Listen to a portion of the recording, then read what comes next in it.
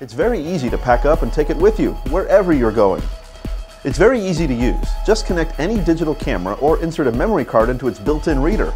It's compatible with compact flash, SD, memory stick, micro drive, and XD cards. Once you've got your media connected, use the 2.5 inch color screen to preview your photos, remove red eye, and enhance colors.